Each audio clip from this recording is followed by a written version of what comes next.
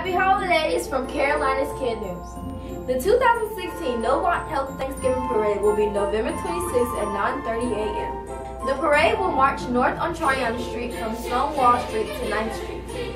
Usually over 100,000 people will attend the parade each year. Have a good Thanksgiving and don't forget to tune in to Carolina Kids News each week for more.